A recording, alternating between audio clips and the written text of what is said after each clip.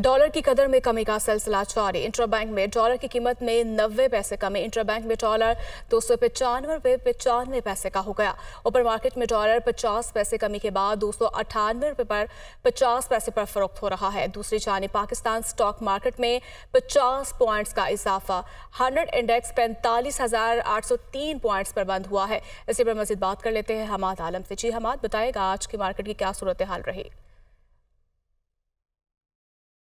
आज की मार्केट से पहले अगर मैं ग्यारह रोज़ का आपको अहवाल सुना तो ग्यारह रोज़ के अंदर हमने इंटर बैंक में डॉलर ग्यारह रुपए टूटते हुए देखा है। और इसकी सबसे बड़ी वजह ये है ओपन मार्केट में मैंने देखा तैतीस रुपए की कमी आई डॉलर की कदर में, कि जो क्रैकडाउन किया है, जो क्रैकडाउन स्मगलर्स के खिलाफ किया है, जो क्रैकडाउन हवाला हुंडी वालों के खिलाफ किया गया और अब इस क्रैकडाउन को मजीद फैलाया भी है, क्योंकि हमने देखा कि सोने की कारोबार में भी सट्टेबाजी हो रही थी, वहाँ भी इस क्रैकडाउन का हुआ, और हमने देखा कि इसका असर एक मल्टी फैक्टर्स पड़ा है रुपये की कदर में इसकाम देखा है।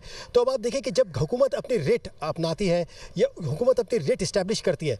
तो देखिए, सिर्फ़ 11 दिनों के अंदर जो है, रुपए की कदर में ग्यारह रुपये यानी इंटर, डॉलर की कदर में ग्यारह रुपये कमी आई और रुपया 11 रुपए मुस्तकम हुआ है। अगर यही रेट हम ये जो बात करते हैं, इसी रेट की वजह से स्टेट बैंक ने भी ये कहा है कि जो स्मगलर्स के खिलाफ क्रैकडाउन हुआ, जो वाला, उंडी वालों के खिलाफ क्रैकडाउन हुआ तो ये देखा जाएगा कि जो कमोडिटी की प्राइस जैसे चीनी हमने देखा सस्ती हुई।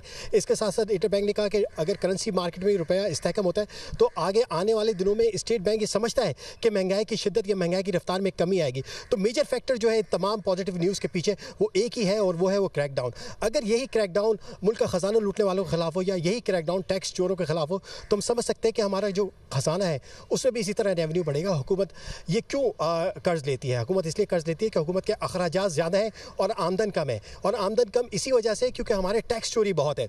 हमारे एग्रीकल्चर सेक्टर में कोई टैक्स नहीं देता। हमारे होलसेल रिटेल सेक्टर बहुत बड़ा टैक्स चोरी होती है यहाँ। तो अगर यही क्रैकडाउन टैक्स चोरों के खिलाफ हो तो हम रेवेन्यू साइड पर भी बहुत जो है इंडिपेंडेंट हो सकते हैं। और अगर ये रेवेन्यू बढ़ेगा तो हुकूमत को कर्ज भी लेना नहीं पड़ेगा।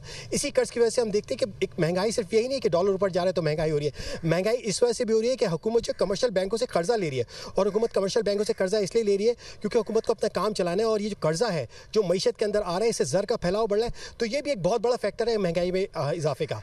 अभी हमने देखा कि हुकूमत ने जो पेट्रोल की प्राइसेस बढ़ाई हैं और ये तकरीबन तीन सौ तीस रुपये फ़ी लीटर से तजावज़ कर गया इस वक्त अगर आप पेट्रोल की प्राइस देखें तो उसमें तकरीबन अस्सी रुपये टैक्स है।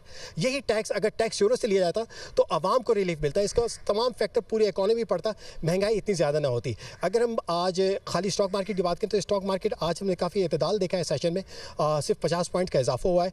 और इन्वेस्टर्स का कहना ये है कि इस वक्त जैसे जैसे सर्टेनिटी की सूरत हाल आएगी सियासी मैदान में हम देखेंगे कि गैर यकीनी सूरत हाल ख़त्म होगी।